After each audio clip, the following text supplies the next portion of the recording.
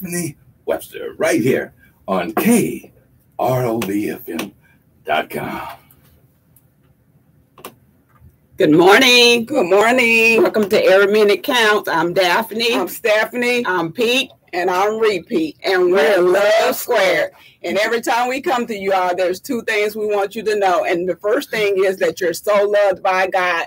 There's nothing that you can absolutely absolutely do that can take God love away from you. Every day, God get up knocking on your heart wanting for you to come back home and help design a relationship with you. So nowhere, no matter where you might find yourself at today, just know that God wants and design a relationship with you and welcoming you back home with arms uh, wide stretched saying come back home because he desires and wants a relationship with you and that you're so loved by him.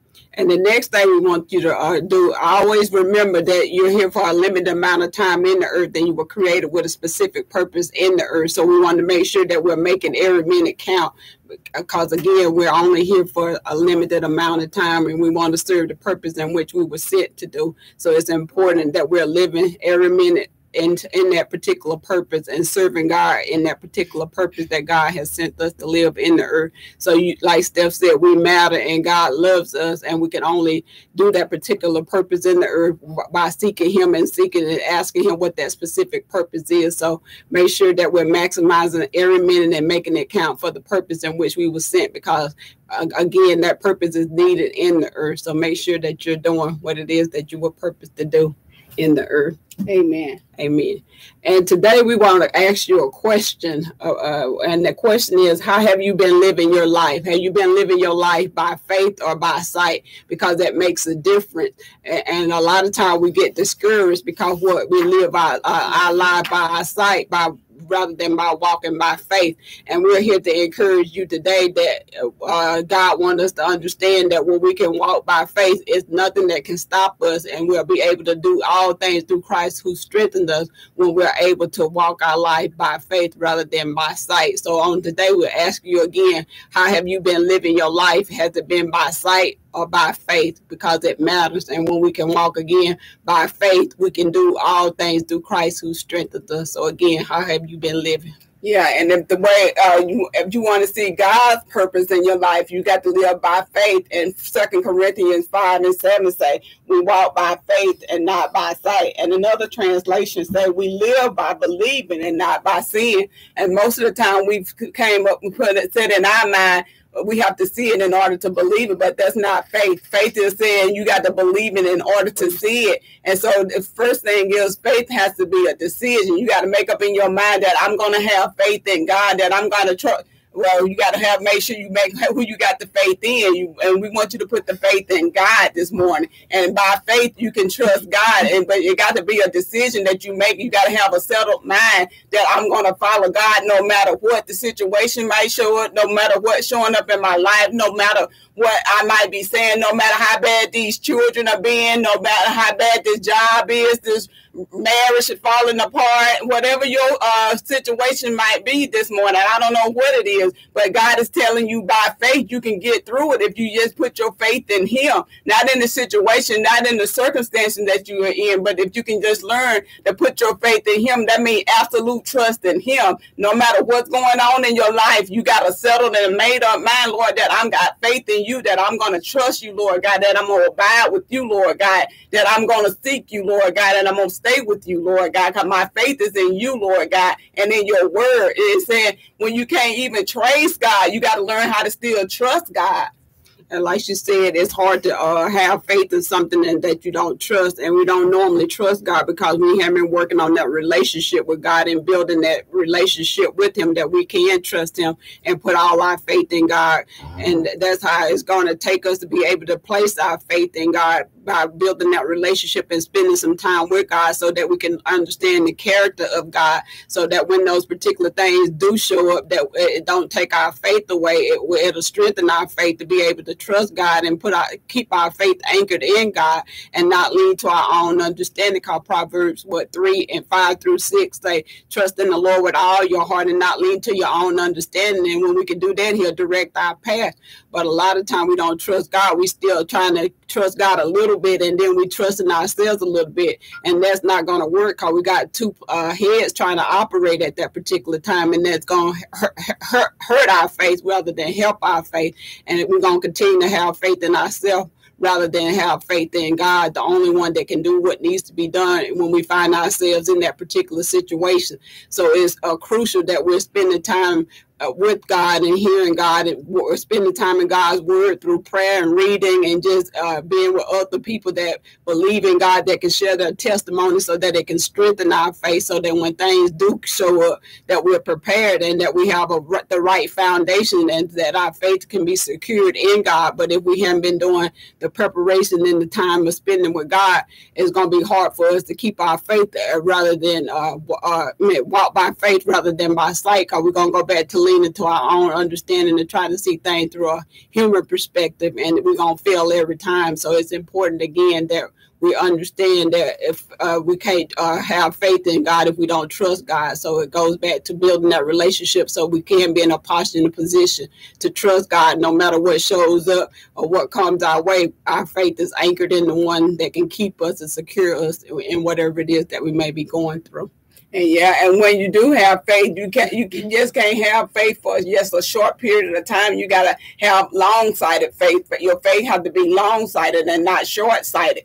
And because most of the time when we don't see something right away, we thinking God done forgot about us and that God done left us, but that's not true. You got to learn how to continue to have faith in God, even when you don't see the uh, big picture. When you just got a little piece of the puzzle, the thing is, you got to understand that God has the big picture. That God knows the big, uh, the uh, the beginning from the end. That He already knows everything that's going to happen. That's why you got to continue to stay with God and just trust God, even when your situation. You're like, man, I've been in this situation so long, God, and don't look like nothing even happened. I'm doing everything you tell me to do, and doesn't look like anything is changing I was reading this article and it was talking about a Chinese bamboo tree and how it take how much it take for that Chinese bamboo tree to grow. It said first it started off as a seed, and then you put that seed in the ground and you have to water and uh, and fertilize that seed for five years before you see any uh, anything before it uh, come up above the ground. And they say if you miss any day within that five years,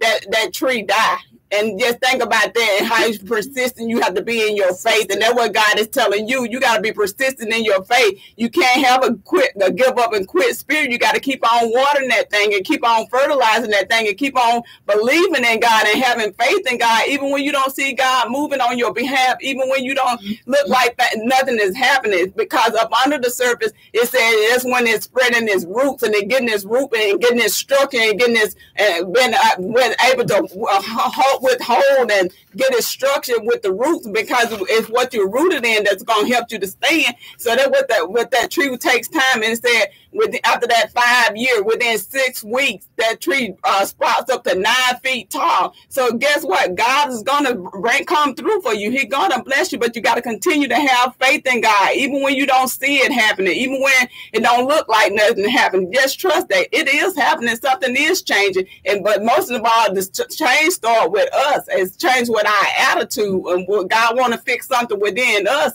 and build our character and build our faith in Him and our trust in Him.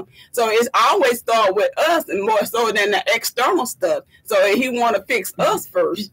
And yeah, like you were saying, Jeremiah 29 and 11 came to mind. For I know the plans I have for you, declares the Lord. Plans to prosper, prosper you, not to harm you. Plans to give you a hope and a future.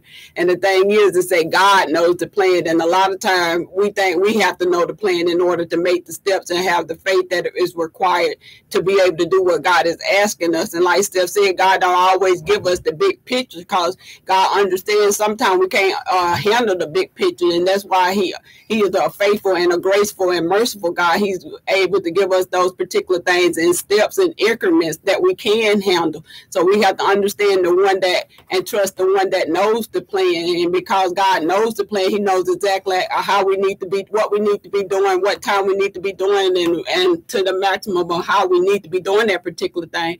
But the thing is, we got to trust however or how much God gives us to reveal to us at that particular time, and know that's exactly what we need, and be willing to take the steps and be obedient and follow his instructions in whatever it is that he's telling us to do. Because again, faith is like Steph said, believing in God even when we can't see what, what it is that he's telling us to do. What was Martin Luther King uh, quote Steph said, you trust in the step even when you can't see the staircase. And that's what God wants us to do, be able to trust his steps even when we can't see or understand. God don't require our understanding. He just require obedience and be willing to faithfully obey whatever it is that he's telling us to do. And a lot of time we want to understand and have the big picture before we can make a make a move. But that's not faith. That's uh, trying to again go back to our natural wanting to see it before we get before we move and uh, and do what it is that God is calling us to do. But being a Christian, you can't operate like that. We got to again believe and have faith first, and then God to be willing to show us when we take the faith. Go back to Abraham. Uh, God only provided the ram when Abraham moved out in faith, and a lot of time we like to see the ram first before we able to move and do what God is asking us to do. But God only provides the ram when we are exercised and moved out in faith. So your ram is there when you activate your faith. God will produce the ram, but not until then. Yeah, after you have uh, made the decision that you're going to follow God in faith, and then you got to fix your focus. Because Hebrews 2, 12 and 2 said, Let us fix our eyes on Jesus, the author and finisher of our faith. So when you uh, make the decision that you're going to follow Jesus and uh, uh, have faith in Jesus, and then you got to have your focus on Jesus, because guess what? The external situation and issues going to come to try to distract you and, and discourage you and take you off of course and keep you from focusing on God and make make you look at the situation because whatever you uh, put your eyes on and whatever you focus on, that's what's going to be magnified. So when the situation shows up, you got to learn how to recalibrate yourself and refocus and bring your focus back to God because it's going to always come and try to steal your attention. But you got to continue to pay attention to what God's word has told you and lean on God's word. Even when you can't see God, you got to remember his word and what his word and lift up his word and hold up his word because his word is going to be the light unto your lamp unto your feet. It would help you to get to your next step. But if you're not focusing on God, you keep on focusing on the situation. And when you're going to get out the situation, you're going to miss what God is trying to teach you and what you're trying to learn in the situation. So when you learn how to just fix your eyes on God, even no matter what's going on, you'll be able to have the peace that you need, the inner peace, the inner joy that you, uh, even when you're going to, going through, you can still be content in whatever situation you find yourself in. Why? Because your eyes is fixed are fixed on God. It's almost like Peter walking on the water. As long as Peter's kept his eyes on God, he was able to walk on the situation with what, what he was facing. But as soon as the wind came, he and distracted Peter. What did he do? He started situation. So if you're finding yourself situation today. We're telling you to get your eyes back on the right place, put your eyes back on God. Because when you're able to put your eyes on God, He might not take you out of the situation, but He will give you the grace that's sufficient for the situation and help you supply you for the situation. Because long as you have God's presence in your life, He will help you in and everything. So the thing, most important thing is is God's presence and that you're focusing on God's presence. Because in God's presence, we have everything that we need. So learn how to just first have faith, and that's a decision. And then focus. You got to fix your eyes on God, no matter whatever comes. Even when you have to refocus, do that.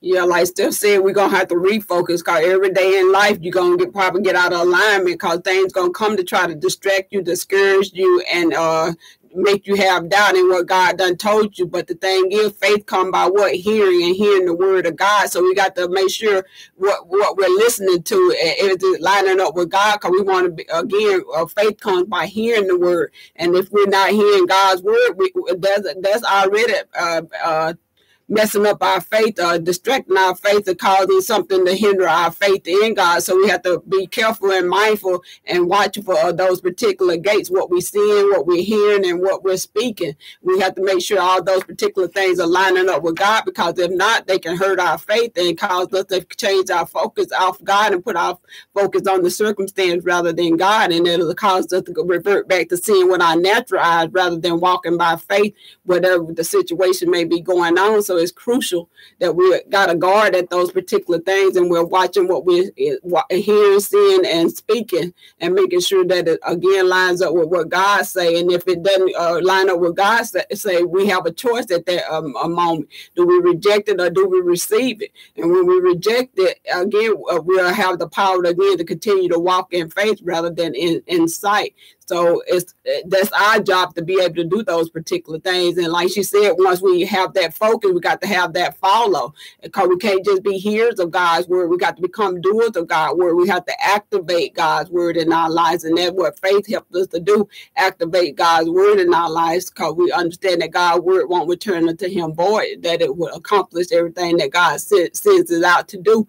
So we don't know where you may be at today, but we just want you to say, by faith, you can get through anything that you may be facing on today. And God gonna give you the strength when we can again focus on Him and remind ourselves of God's word and allow God's word to do the work on our behalf. We can just rest on in Him rather than again try to visualize and try to figure everything out. God want us to again rest in Him and exercise His word because it's His word that's gonna bring us the victory when we can again lean on His word and not our own understanding. He will guide our path to where it is that we need to be. Yeah, so today we're telling you by faith if you can focus on God and then you have to follow through with what God has told you. You got to mm-hmm. stand on his word. He said you got to go through in order to get through. You just can't stop in the middle because most of the time we get in the middle, that's where we want to stop and we want to give up in the middle of the process. But God is telling us today, don't give up in the middle of the process. He got an expected end for each and every one of us.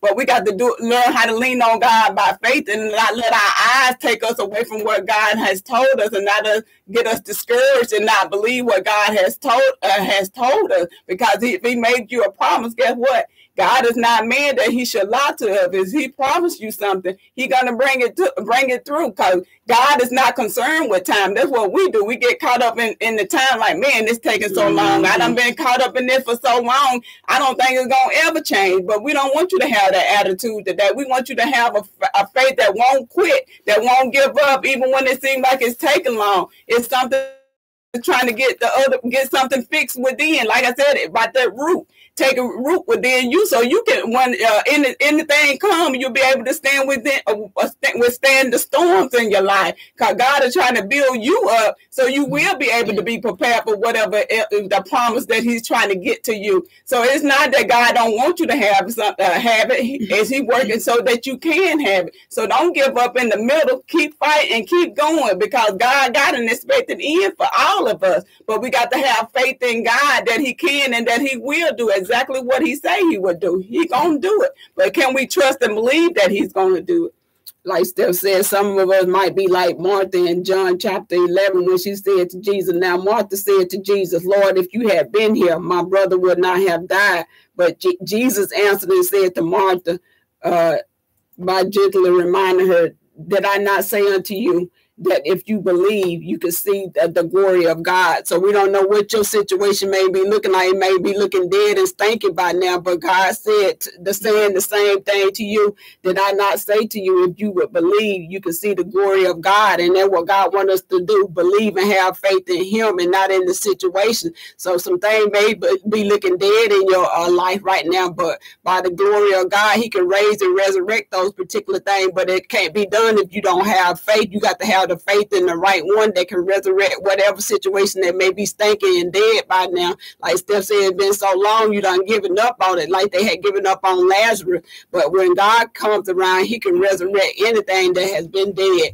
And that's if we can, again, speak life to it and make sure that we're using our words and speaking life. We can always speak life to our situations and circumstances too, but it's going to require us having faith in the right one and in the right source and walking by what uh, and God strengthening God's word and exercising God's word rather than what what we can visibly see. Because we might not always see what we think we need to see, but if we can exercise God's word, it can resurrect anything that may seem dead. So there's power in life and and how we speaking in, in our tongue. So make sure we're using uh, our tongue to uh, preserve life rather than to kill life. Yeah, so today we're asking you, uh, uh, uh, will you have all faith and no fear? Is this your season to believe? And God said, if you can just by faith believe in Him and what He has told you and what He has promised you, and not give up and not quit, you will see uh, His promise come to pass. He will deliver for you but you got to continue to keep going, even when you don't want to keep going, even when you don't see.